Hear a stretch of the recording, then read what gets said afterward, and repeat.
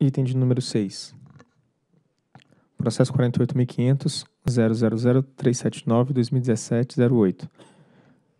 Trata-se do resultado da audiência pública 35 de 2017, instituída com vistas à obtenção de subsídios para a regulamentação do cálculo da subvenção para compensar o impacto tarifário da reduzida densidade de carga do mercado de cooperativas de eletrificação rural, conforme Lei 13.360 de 2016.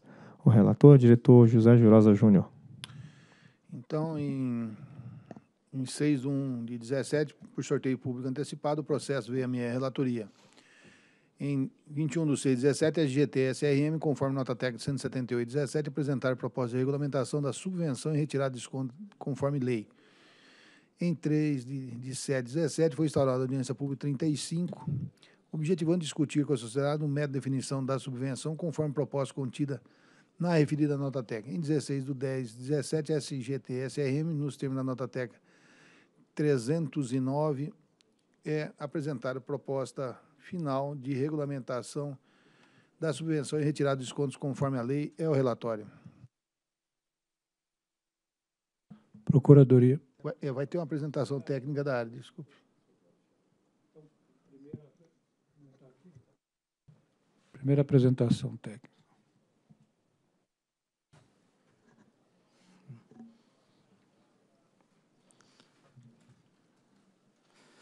É, bom dia, senhores diretores. Então, essa P é exatamente para tratar da regulamentação da, do que prevê a Lei 13.360, né, sobre o cálculo da subvenção às cooperativas em função da reduzida densidade de carga. É, essa P foi aberta em, em junho, né, e já passou a, a ser aplicada inicialmente para as cooperativas que tiveram processo daí para frente, mas aí por determinação da diretoria esses processos também foram suspensos até que tivéssemos aqui a deliberação final. Só para fazer um resumo do, de como é feito esse cálculo da subvenção, né? a lei define um valor adicional de receita requerida, e isso especificamente para a parcela B, e o cálculo é feito em função do adicional de custos que a concessionária supridora teria com a incorporação do caso fosse incorporado os ativos e consumidores da cooperativa. Também teremos, tínhamos que retirar o adicional de receita, também que essa mesma concessionária teria, é, ao adicionar o mercado dessas cooperativas. Aí a gente utiliza as tarifas atuais da concessionária.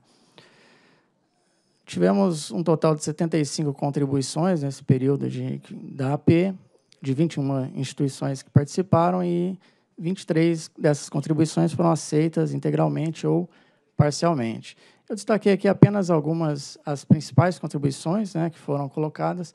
É, o primeiro ponto se referia à definição de densidade de carga, isso a lei cita especificamente sobre isso, mas não tem uma métrica de cálculo dessa densidade. Então, na, durante a audiência, foi colocada uma, uma proposta de utilizar o mercado por unidade de, de rede, né?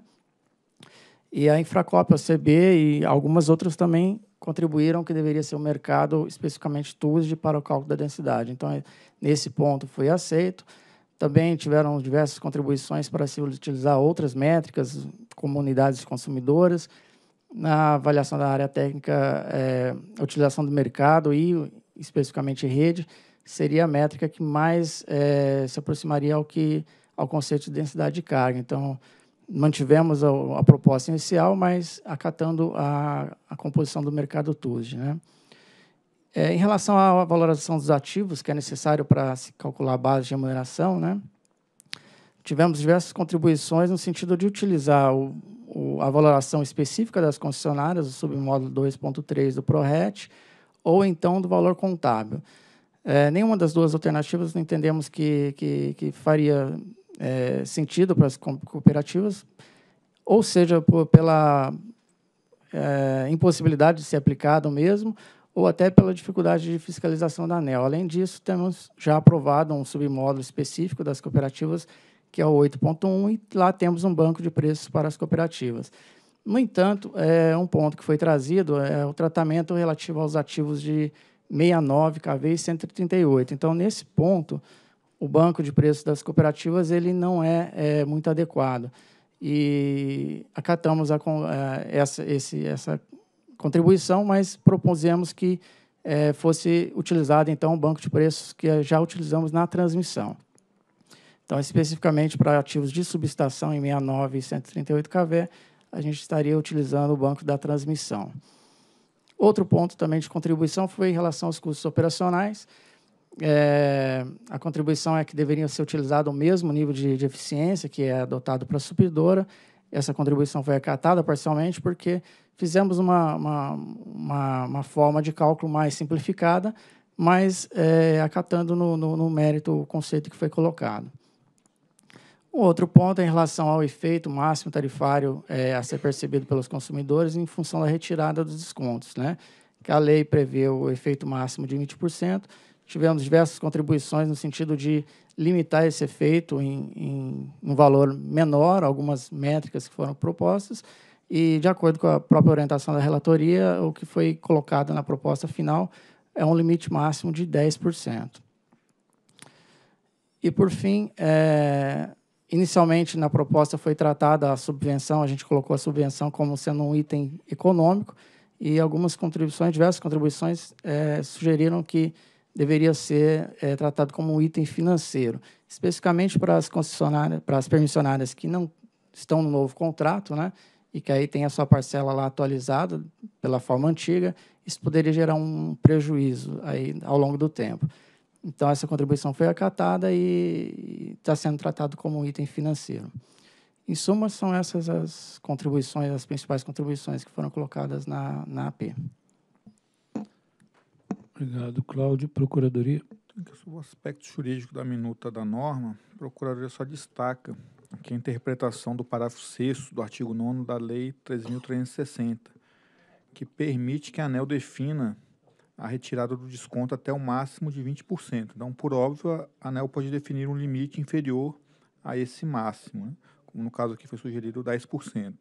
Então, no mais, a Procuradoria opina pela juridicidade da minuta da resolução normativa, a qual está em condições de ser deliberada pela diretoria.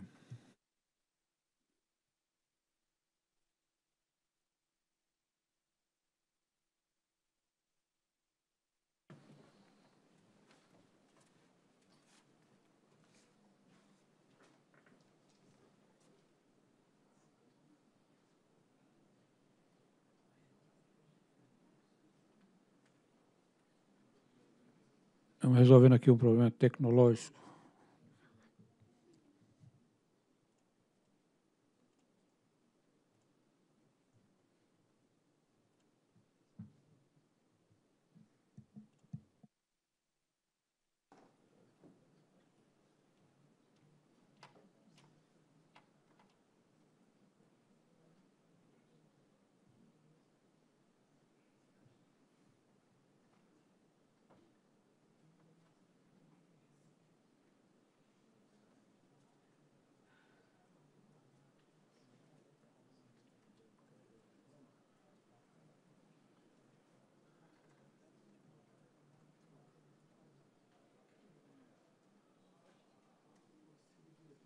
É, senhores diretores, como, como, tivemos uma apresentação técnica dessa, dessa apresentação, eu vou, eu vou direto ao dispositivo, tá?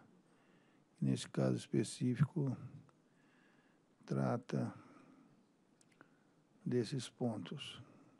E aí, por conseguinte, nós poderemos, a diretoria poderia de, deliberar a questão das, daquelas tarifas que foram prorrogadas até o dia 31, né? Então, em face do exposto e considerando que conta o processo inteiro, voto por encerrar a audiência pública 35, instituída com vista à obtenção do subsídio para a regulamentação do cálculo da subvenção para compensar o impacto tarifário e a reduzida densidade de carga do mercado e cooperativo de edificação rural, conforme Lei 13.360, e aprovar é, o submodo 8.5 dos procedimentos de regula regulação tarifária PRORET nos termos da minuta de resolução normativa anexa, referente à regulamentação no cálculo da subvenção para compensar o impacto tarifário da reduzida densidade de carga do mercado e cooperativo de edificação rural nos termos da minuta anexa. Muito, muito basicamente era aquela questão do, do limitador até 10%, né? E o PRORET é o novo, é o novo módulo que tem para cálculo dessa metodologia. Então, é, em linhas gerais, é isso. E em discussão, Rosa, só dois comentários. O primeiro é dentro da. Eu dei uma rápida olhada aqui no, no, no voto, Uhum. mas e- e na linha da manifestação do doutor Escalante, né, de que esse poder discricionário que a ANEL tem de pontuar, a- respeitando o limite de 20%, né, o percentual de desconto. E, Exato. e nós estamos aqui pontuando em 10, no limite que temos de até 20, não é isso? Eu, eu só eh, sugiro, Jurosa, talvez exaurir um pouco mais, isso pode ser feito, evidentemente, na sequência, a, a sustentação porquê da escolha de 10. Porque, claro, que Tá. escolha de Pode ser 10 poderia 15, ser pode- 10, poderia ser 15, poderia ser 5, né? Tá. Talvez para dar assim mais robusteza para que, claro, poder discricionário nós temos, mas temos que sustentar a escolha que fizemos. Eu, eu, eu vejo que talvez eh, vale a pena investir um pouco mais para deixar vou- isso, porque como é um regulamento, né, vai Vou, ficar... vou colocar al- Tá. alguns parágrafos a mais dentro do Tá. voto, pra- pra- do voto para contemplar essa, essa solicitação. Ok, então esse é o primeiro ponto. O outro ponto é não precisamos, talvez, eh, imagino que não foi tratado aqui, não era mesmo objeto para ser tratado aqui, mas eu lembro que tem um conjunto de permissionárias, como eles passaram pelo processo depois que nós abrimos a audiência pública, esse nós já tínhamos endereçado, né? Inclusive aqui fica, evidentemente, já claro a orientação para a área, na SGT e os próprios relatores, que na próxima reunião precisa escrever todos aqueles processos que estão com a tarifa prorrogada até 31 de outubro, né? porque é exatamente na próxima reunião. Exatamente. Né? Aqueles que nós suspendemos ou até não eu deliberamos e tirei de hoje de pauta, porque antes de um outro que está Depende prorrogado. de uma É, outra, né? E aí, nessa mesma linha, tem um, um, um subconjunto, é, que eu, que eu- pelo que eu me lembro, bem menor, de permissionários que passaram pelo processo antes de abrir a norma, que Exato. já estava vigente a, a lei, né? mas ainda não estava regulamentado.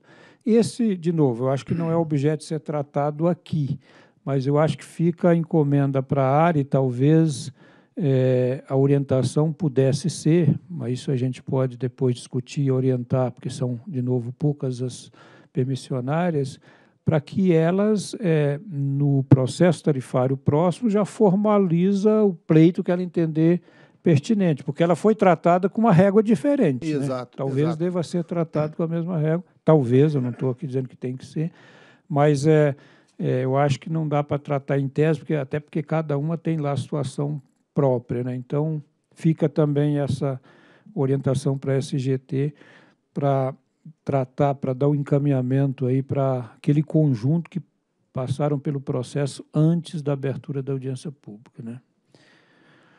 Ok? Então, em votação. Eu voto com o relator. Também voto com o relator e proclamo que a diretoria, então, decidiu por eh, bem, encerrar a audiência pública 337, instituída com vista à obtenção de subsídio para a regulamentação do cálculo da observação do componente de impacto tarifário e da de reduzida densidade de carga no mercado de cooperativa de eletrificação rural, conforme lei tal. Mas o que importa é que decidiu, portanto, aprovar o sub- submódulo 8.5 dos procedimentos de regulação tarifária, PRORET, nos termos da minuta de resolução normativa anexa, referente à regulamentação do cálculo da subvenção para compensar o impacto tarifário da reduzida densidade de carga do mercado de cooperativa de eletrificação rural, nos termos da minuta anexa. Próximo item.